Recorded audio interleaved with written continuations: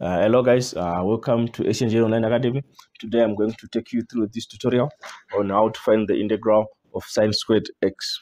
Okay, so to find the integral of sine squared x, you know, we're going to make use of an identity, a trig identity, and the identity says uh, cos 2x is equal to uh, cos squared x subtract sine squared x. All right and uh, all right maybe we can start from how we derive uh, this identity. Uh, this identity is derived from the identity which says cos x plus y is equal to cos x cos y subtract sine x uh, sine y like this. All right then uh, from this identity we take a situation where x is equal to y. All right so we're going to substitute x for y in this identity. We get cos x plus x which is called cos x. Uh, cos x subtract sine x sine x like this all right and then as simplifying this we get cos 2x is equal to cos squared x subtract sine squared x all right so this is the identity which we are going to use. But then uh, at this point we're also going to make use of another very common trig identity uh, which is uh, sine squared x plus cos squared x is equal to 1 all right so if we make cos squared x the substitute the formula on this one we get cos squared x is equal to 1 minus sine squared x. Okay then what we're going to do, we're going to substitute uh, 1 minus sine squared x for cos squared x here on that identity.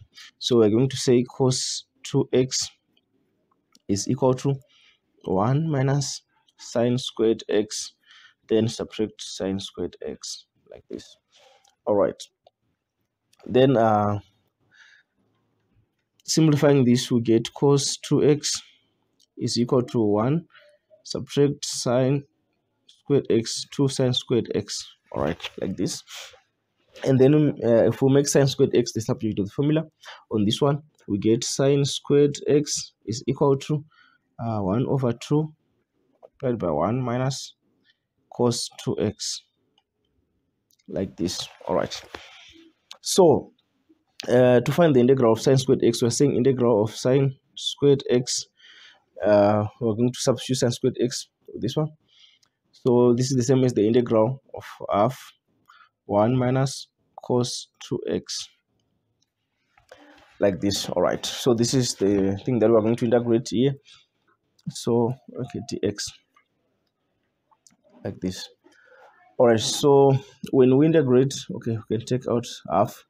Then when we integrate 1 uh, we are going to get nx then subtract when we integrate cos 2x we get uh, sine 2x then we multiply uh, by the derivative of the angle which is uh, all right but the reciprocal of the derivative we get here. So if we differentiate 2x we get a 2 then uh, the reciprocal is 1 over 2 like this. All right uh, plus the constant c so here we're going to get 1 over 2x minus uh, sine 2x over then this half multiplied by this half we get uh, f4 here then plus our constant c.